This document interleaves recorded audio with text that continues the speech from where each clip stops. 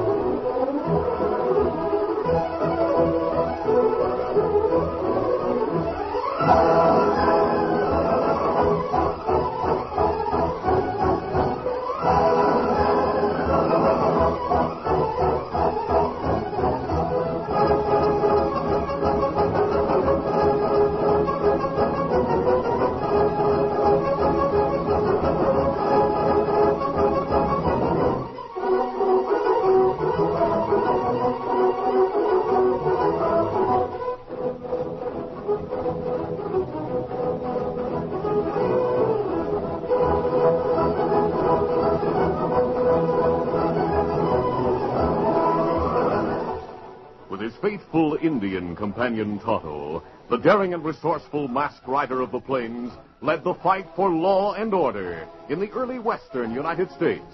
Nowhere in the pages of history can one find a greater champion of justice. Return with us now to those thrilling days of yesteryear. From out of the past come the thundering hoofbeats of the great horse Silver. The Lone Ranger rides again. Come on, Silver. Eh. Let's go, big fella. I'll Silver. Aye!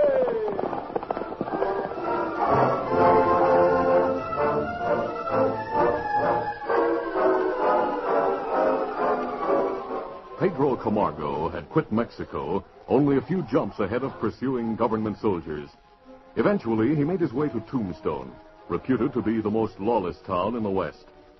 There one night, as he lounged in a cafe contemplating his bleak future, he felt a hand pressed hard into his shoulder. Ah, well, look who I find here, of all the places in the world. Pedro Camargo. Quiet. Do not say my name so loud. You mean to tell me you're running away up here too, Pedro? Senor, you make a mistake. You call me. Who do you think you're fooling, Pedro? You know me. Vinco, that's who I am. Vinco Shea. I have never seen you before, senor. I have. Oh, he was not a lawman after all. Huh? What are you talking about? That hombre who stood there at the end of the bar, the way he kept looking at me, I think surely he's a lawman. But now he is gone, and I am relieved. Oh, Vinco, amigo. Ah, it's good to see you. Well, that's more like it. This is real luck bumping into you, Pedro. Luck for Pedro? Oh, Vinco, you are my amigo, and always you have treated me good. Well, let me treat you now. What are you drinking? Right now, I sip slow on a glass of wine because I cannot afford more. You want some red eye? oh, Vinco, such a thing to ask a man who loves red eye. Of course I will have The some. barkeep, pour my pal here a double shot. Then, Pedro, when you get it, we'll sit over at the corner table and talk where we can't be heard.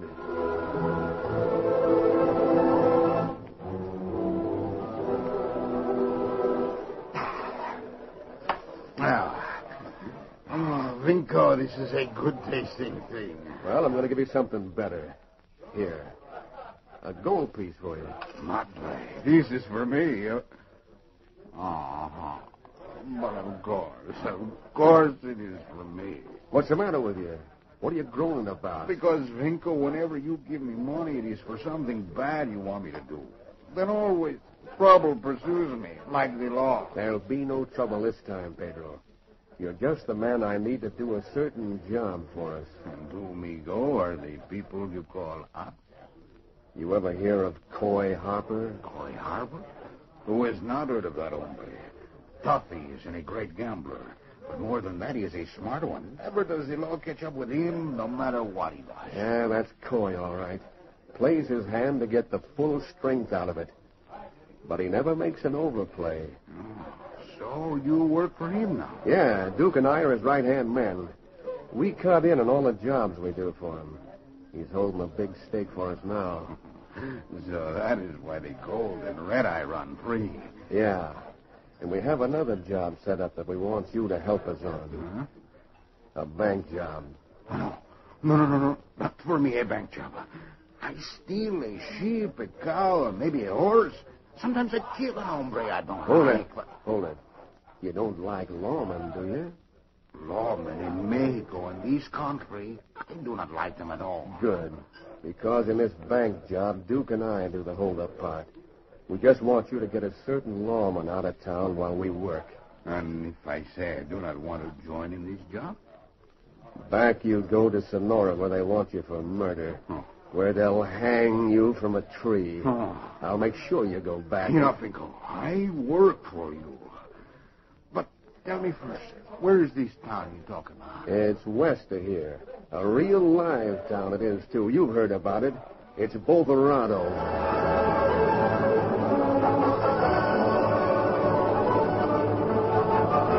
Town of Boverado, half a day's ride west of Tombstone, was fast becoming as lawless as Tombstone itself. A new kingdom of crime was in the making, and it was for this reason that the Lone Ranger and Tonto headed for Boverado to help bring law there. Easy, steady, fella. It was evening when the two men set up camp in the hills outside the town. We'll get in touch with Sheriff Denton in the morning, Tonto. We helped him once in the past. Perhaps we may be able to do so again. Uh, him good man. Not afraid of crook or outlaw. But he can't get deputies, so he's doing a one-man job. That's too great a task for even the bravest man. Uh, Kimasabe, you have ID who had outlaws in town? No, Tonto, but Coy Harper set up hotels and cafes there. His reputation's the worst. I think he's the man we'll keep our eyes on.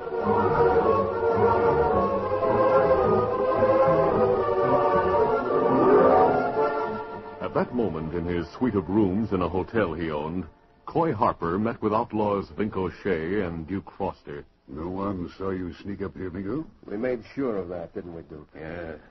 We made sure Sheriff Denton was the other side of town. Denton, huh? He's been causing me a lot of trouble lately. I hope nothing goes wrong tomorrow morning. Don't worry, Coy. Duke and I'll take over Hibbs and the two people who work in his bank before he knows what happens. And he'll never recognize us in different clothes and wearing masks like we'll be. And as for leading Sheriff Denton into the ambush you've set up, believe me, Pedro will do a perfect job. You'll see. I hope so. Because with Bill Denton gone, we'll not have to worry about law in this town anymore. We'll run things the way we like. The way I like.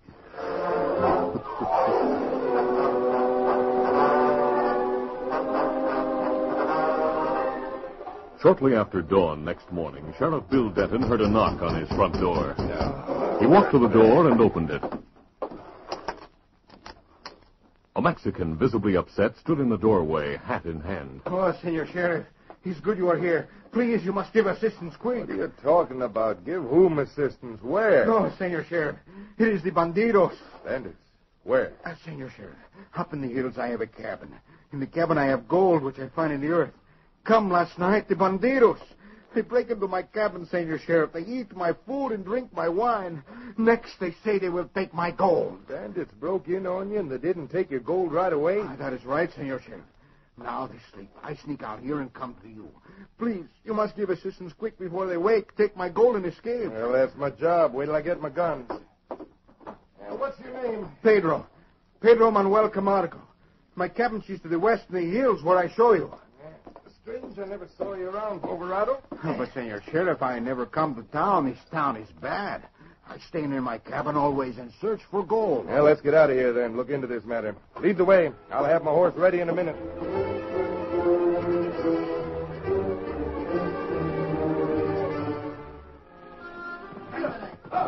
A few minutes later, as Pedro Camargo and Sheriff Denton galloped out of town, Coy Harper, peering from behind the window curtain of his hotel room, chuckled. So long, Sheriff Denton. This is the last time I'll see you riding like that, huh?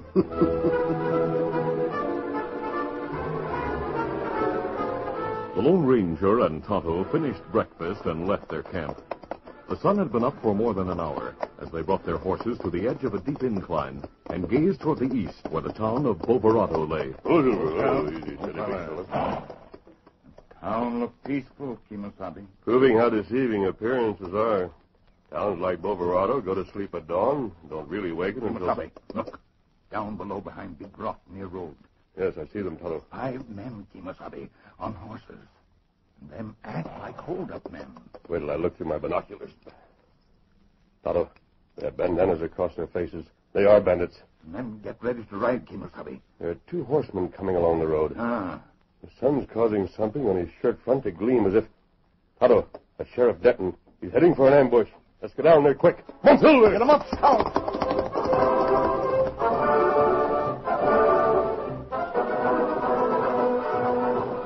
Sheriff Bill Denton, riding with Pedro Camargo, felt uneasy and slightly suspicious of his companion. As they neared the massive boulder called Bald Head Rock, oh, Denton easy slowed now, his horse. Easy, easy, Pedro followed suit. Senor Sheriff, something is the matter? That's what I was just wondering. Camargo, where exactly is this cabin of yours? Well, not far, Senor Sheriff. In the hills away. We go around Big Rock, then turn up on trail that go there. Uh... Senor, why you look like that? Two men riding down from the hills. Are they your bandits? Well, that may be, Senor. That I cannot tell from here. I do not think they are, Senor Sheriff. A white horse like that, I did not see one ride. Ho, ho, Musty! Ho, what's wrong? The crooks waiting in ambush had seen the two horsemen riding down toward them. To avoid an encounter, the crooks galloped their horses onto the road and headed toward Denton and their pal Pedro. Musty, what had... Oh, the bandits. You knew they were coming. Pedro, this means a fight. Get your gun out. Over here, Musty. Stop, Come on now. Get off the road. I say stop or I shoot. No! The shot from the oncoming crooks whizzed by Sheriff Denton, who was riding for cover. It was Pedro's shot that crashed into his shoulder and sent him hurtling to the ground. Denton, as he fell, saw Pedro riding down on him, ready to fire again. I got you good now. Ah, ah. But Denton's gun went off first. Pedro tumbled from his horse as his crook pals galloped onto the spot. The crooks fired as they approached, and one of their bullets hit Sheriff Denton, but two found their target in Pedro. The Lone Ranger and Tonto shots were getting nearer, and the fleeing crooks, with no time to turn and fight, fired wildly over their shoulders. All right, scatter, boys. We took care of the sheriff. Those hombres behind us shoot too good. Let's go. Scatter, meet us behind us. Ah, I'm hit. They got me.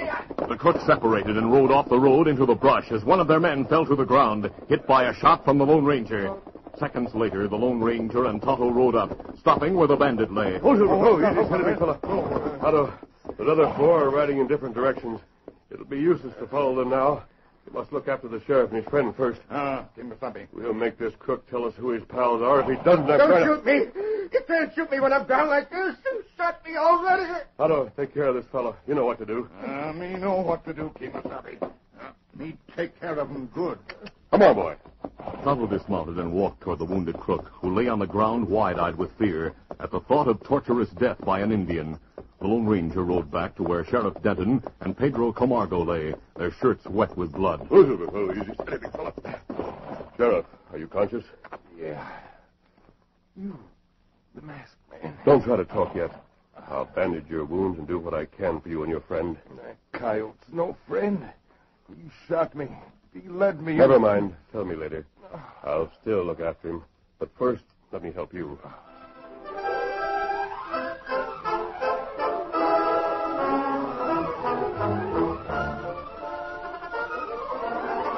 The curtain falls on the first act of our Lone Ranger adventure. Before the next exciting scenes, please permit us to pause for just a few moments.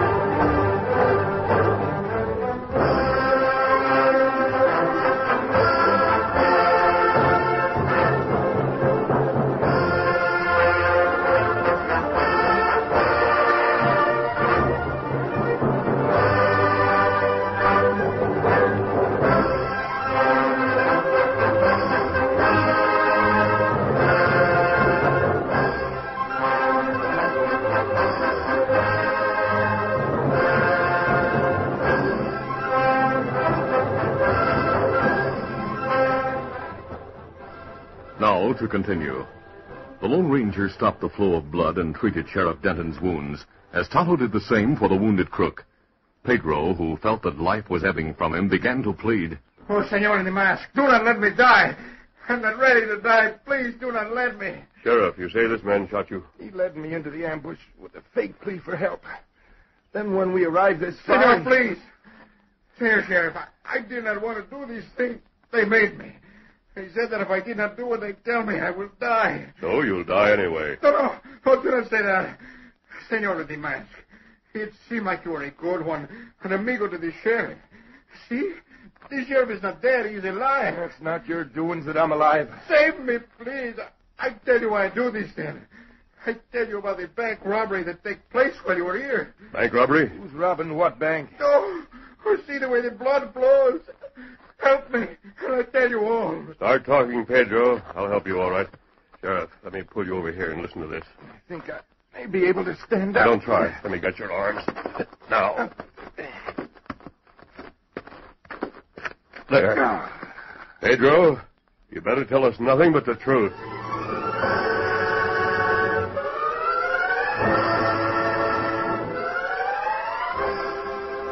It was evident to the Lone Ranger that Pedro Camargo's wounds, while painful, were not too dangerous. But he allowed the fear of death to act as oil for the tongue of the man. And soon Pedro had told how he had been drawn into the plot. He ended. And so, senors, this hombre Vinco Shea, tell me if I do not do like he say, he sent me back to Sonora where they hanged me to a tree for stealing sheep. So I do it because I am afraid. And he promised you that you'd have a job for life at Coy Harper's ranch if you led Sheriff Denton into the ambush. That is what he say. But it's fear more than reward that make me do like he tell me. Filthy snake, you should hang. Coy Harper and Vinco Shea. That combination adds up. There is the other hombre they call Duke. He do tell me all this. That would be Duke Foster. He and Shea were run out of the panhandle together. But the bank, if they hold up the bank... What time's it open? Pedro says that's the hour they'll enter the place and hold it up. It opens at 10 o'clock. I swear I tell the truth. It is at that hour they say that the safe is open. It's not nine o'clock yet. There's time to get there before they do the job. My side hurts too much to ride. You're able to hold a gun, aren't you, Sheriff? Yes, it's my left shoulder inside. the- I'll reload your gun. You can hold these two men prisoners. Tonto and I are going to Boverado. But that mask, they'll think you're one of the bank robbers when they see you. I'll take that chance. Carry other crook over here. How is he, Tonto? Uh, him hit bad, but me fix him good. Him not die. Is he conscious? No, no. Me put him on the ground next to other crook. Sheriff, that'll make your job of guarding them easier. Sure will. I'll take care of 'em all right. When Tonto and I arrive in Boverado, I'll have him send men out here at once. And have him send a wire to Tombstone, the United States Marshal. Bank robbery comes under his jurisdiction. I know you'll do whatever you plan. But you better hurry. Easy, steady, Silver. Don't worry, Sheriff. Silver and Scout will get us there before 10 o'clock. You ready, Tonto? Uh, be ready, Kimasabi. On, Silver!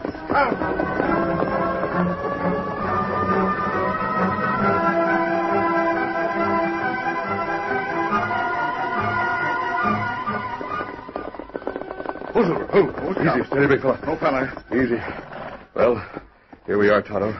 With at least 20 minutes to spare. Uh, look down Main Street, Kimasabi. You see only one man? Yes. And he doesn't see us. I told you this is a town that doesn't wake up until noon. That bank building opposite hotel. Yes, I, I see it. There's a path that runs along the rear of all the buildings there, including the bank. We'll ride that way.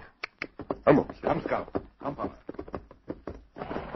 The Lone Ranger and Tonto walked their horses along the deserted back path until they were opposite the rear entrance to the bank. Who's it? Oh, easy. Steady now. Easy, Scout, easy. There are windows in the rear of the building, Tonto, and there are no bars on them. You go there now. See how bank room looks. Yes. Meanwhile, you go to the telegraph office and send a message to Marshal Gray in Tombstone. Tell him Sheriff Denton's been shot, and that he's needed here. Then have her, whoever's in charge of the telegraph office, send a doctor and some men out to where we left Sheriff Denton and his prisoners. Me tell 'em send men to help you, Kimasabi? No, not yet. Pedro may have lied. There may be no hold-up plan at all. We're here only in case one does take place. And if it does, I think we'll be able to handle it.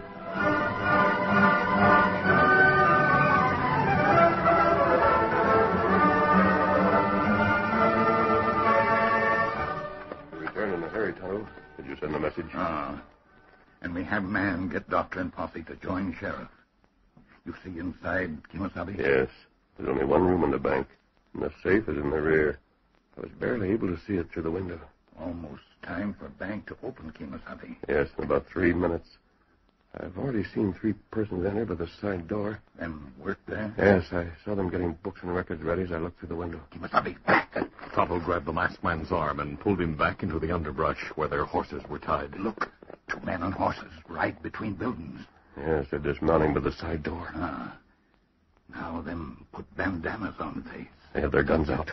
And go slow upstairs to door. See? And one of them knock a door. I wonder if. No. They're answering the knock. The door's opening. Come on, Tonto. It's a holdup, all right. Ah. As the two crooks with guns drawn pushed into the bank, the Lone Ranger and Tonto ran alongside of the building. Then they ran up the steps and quietly made their way to the open door.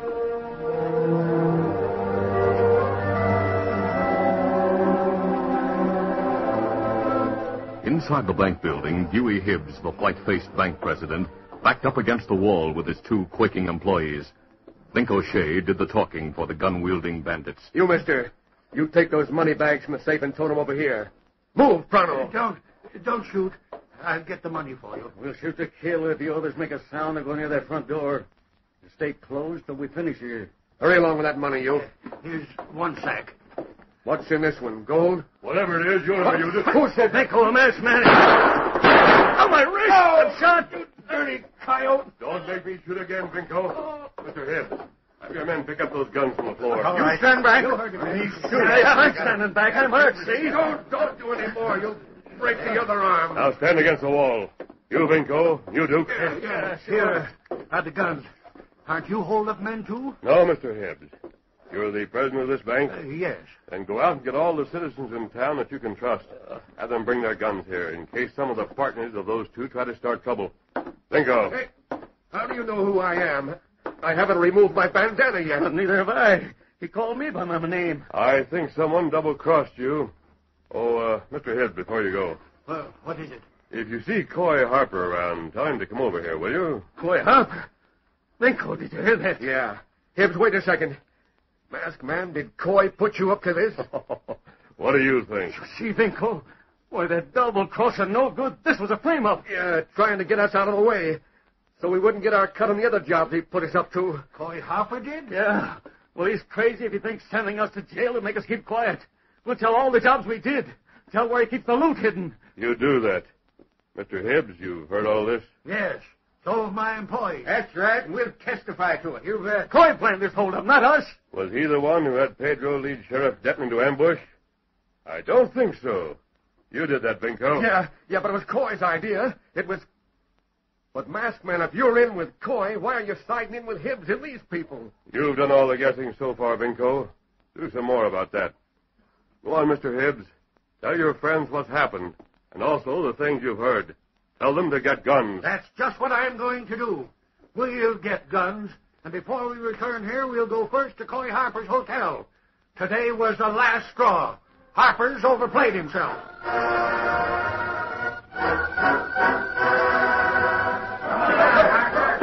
A short time later, a vigilante committee headed by Dewey Hibbs stood outside the hotel where Coy Harper lived.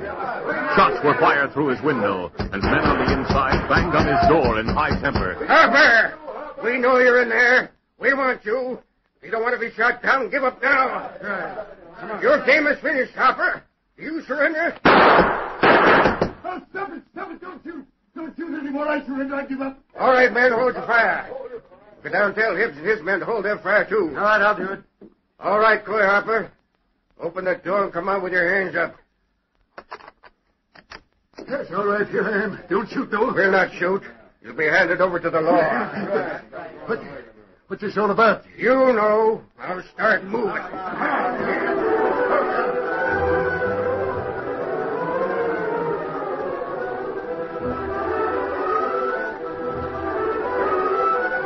Early that afternoon, when Sheriff Denton was brought back to town with his prisoners, he found Harper, Vinko, and Duke in cells. He talked with the Lone Ranger and Tonto. Then, shortly after, propped in a chair, he talked to the men who had rallied around him. Men, Everything's under control. That's right. The hangers on in Harper's place are leaving town as if old Nick were after us. Yes, I saw that.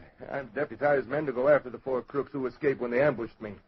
The crook who was shot told me where their hideout was. It seems to me they're all anxious to talk. Pedro, Vinco, Duke, and the other one. Trying to save their own hides, that's why. Because they're cowards like all crooks are. Coy Harper's lost his hold on his town now. He's lost more than that, including his freedom. He may end up losing his life on the gallows. We'll have a good town now, a clean town. You're going right. And we have to thank one man for it. The man who appeared just when I and the town needed him most. You mean that masked man? Yes, he's something. We know all about what he did. Yes, and after he did it and set everything right for us, he and his Indian friend disappeared. Sheriff, you seem to know him. Yes, I know him as well as any man in the West. But only for the good he does. No man ever gets to know him personally. You see, he's the Lone Ranger.